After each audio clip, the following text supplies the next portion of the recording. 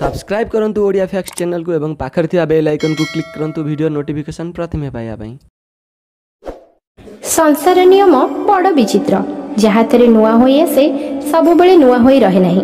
କିଛି ସମୟ ବ୍ୟବଧାନରେ ତାହା ପୁରୁଣା ହୁଏ ଏବଂ ସେହି ପୁରୁଣାରେ କିଛି ପରିବର୍ତ୍ତନ କରି ଆମେ ନୂଆକୁ ଗ୍ରହଣ କରିଥାନ୍ତି। ପାଶ୍ଚାତ୍ୟ ସମାଜର ପ୍ରଭାବରେ ଆମେ ପ୍ରତିବର୍ଷ ଜାନୁଆରୀ ଏକ ତାରିଖରେ ବିଗତ ପୁରୁଣା ବର୍ଷକୁ ବିଦାୟ ଦେଇ ନୂଆ ବର୍ଷକୁ ସ୍ୱାଗତ କରିଥାନ୍ତି। କିନ୍ତୁ ହିନ୍ଦୁ ଧର୍ମ ଅନୁସାରେ ଏହା ନୂଆ ବର୍ଷ ନୁହେଁ। ବାସ୍ତବରେ କହିବାକୁ ଗଲେ ବିଶୁବ ସଂକ୍ରାନ୍ତିରୁ ହିଁ ହିନ୍ଦୁ ଧର୍ମର ନୂତନ ବର୍ଷର ଶୁଭାରମ୍ଭ ହୁଏ। ତେବେ ଦର୍ଶକ ବନ୍ଧୁ ଚାଲନ୍ତୁ ଜାଣିବା। ହିନ୍ଦୁ ଧର୍ମ ଅନୁସାରେ ନୂଆବର୍ଷ ବା ମହାବିଶୁବ ସଂକ୍ରାନ୍ତି କେବେ କାହିଁକି ଓ କିପରି ପାଳନ କରାଯାଏ ଏବଂ ଏହି ବିଶୁବ ସଂକ୍ରାନ୍ତିର ମାହାତ୍ମ୍ୟ କ'ଣ ରହିଛି? ମୁଁ ଅର୍ପିତା ଆପଣ ଦେଖୁଛନ୍ତି ଓଡ଼ିଆ ଫ୍ୟାକ୍ଟସ୍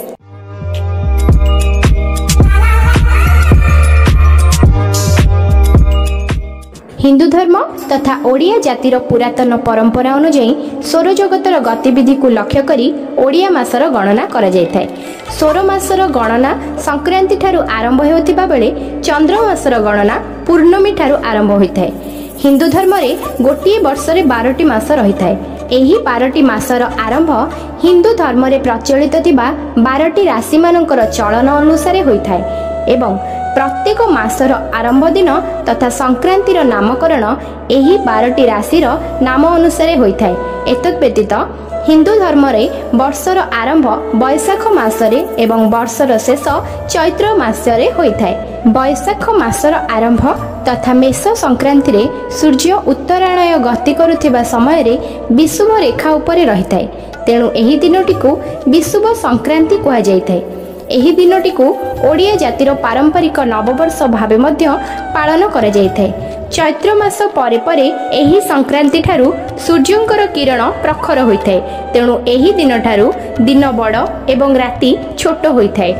ଗ୍ରୀଷ୍ମ ଋତୁର ଆରମ୍ଭ ଯୋଗୁଁ ଗରମ ବଢ଼ୁଥିବାରୁ ଶରୀରରେ ଜଳର ପରିମାଣ ସ୍ଥିର ରଖିବା ପାଇଁ ପଣା ଏକ ଉତ୍ତମ ମାଧ୍ୟମ ହୋଇଥାଏ। ତେଣୁ ଅଧିକରୁ ଅଧିକ ପଣା ପିଆଯାଉଥିବାରୁ ଏହି ବିଶୁବ ସଂକ୍ରାନ୍ତି ପଣା ସଂକ୍ରାନ୍ତି ନାମରେ ଖ୍ୟାତ।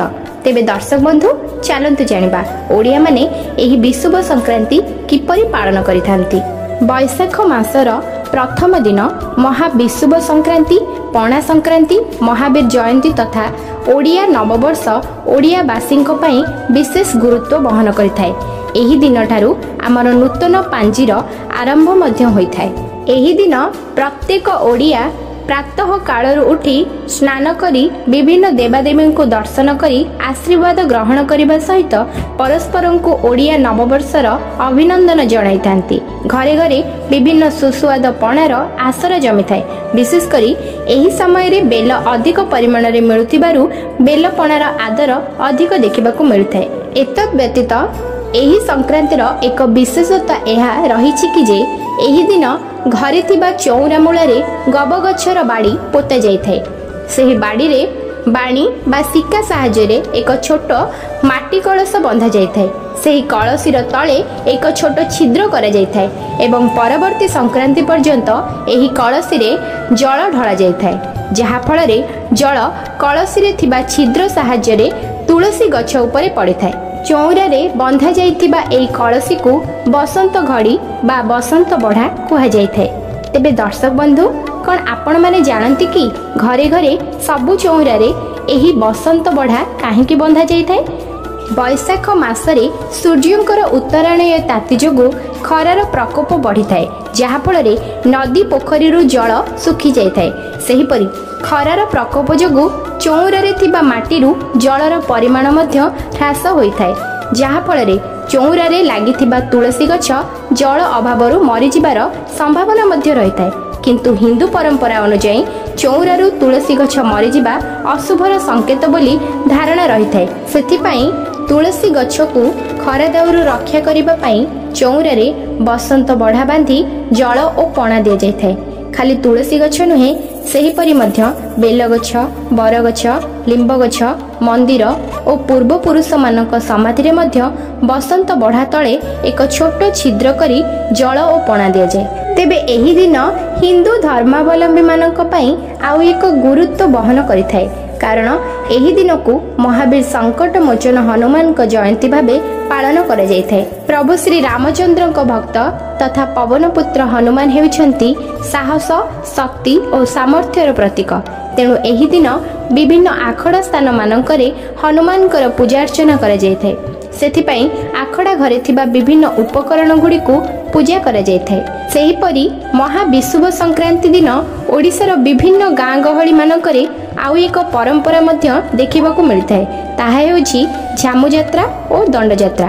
ଦଣ୍ଡଯାତ୍ରା ସଂକ୍ରାନ୍ତିର ଢେର ଦିନ ପୂର୍ବରୁ ଆରମ୍ଭ ହୋଇସାରିଥାଏ। ଏହି ଯାତ୍ରାରେ ମାନସିକଧାରୀ ତଥା ଦଣ୍ଡୁଆମାନେ ନିଜ ନିଜର କାଳୀ ମନ୍ଦିରରେ ପୂଜାର୍ଚ୍ଚନା ସାରି ଯାତ୍ରା ଆରମ୍ଭ କରିଥାନ୍ତି। ଏବଂ ଏହି ବିଷୁବ ସଂକ୍ରାନ୍ତି ଦିନ ସେହି ମନ୍ଦିରକୁ ଫେରି ନୀତିକ୍ରାନ୍ତି ସହ ଯାତ୍ରାର ଉଦ୍ଯାପନ କରିଥାନ୍ତି। ଅତି ନିଷ୍ଠାର ସହ ଦଣ୍ଡୁଆମାନେ ଦଣ୍ଡ ନାଚ କରିବା ସହ ଗୋଟିଏ ସ୍ଥାନରୁ ଅନ୍ୟ ସ୍ଥାନକୁ ଯାଇ ଧୂଳିଦଣ୍ଡ ପାଣିଦଣ୍ଡ ଏବଂ ଅଗ୍ନିଦଣ୍ଡ କରିଥାନ୍ତି। ଏହି ଦଣ୍ଡଯାତ୍ରାରେ ଉଭୟ ଭଗବାନ ଶିବ ଓ ମା କାଳୀଙ୍କର ପୂଜାର୍ଚ୍ଚନା କରାଯାଇଥାଏ। ସେହିପରି ଏହି ଦିନ ବିଭିନ୍ନ ସ୍ଥାନରେ ଝାମୁଯାତ୍ରା ମଧ୍ୟ ପାଳନ ହୋଇଥାଏ। ଯେଉଁଥିରେ ମାନସିକଧାରୀମାନେ ନିଜର ମାନସିକ ପୂରଣ ନିମନ୍ତେ ନିଆଁ ଉପରେ ଚାଲିଥାନ୍ତି।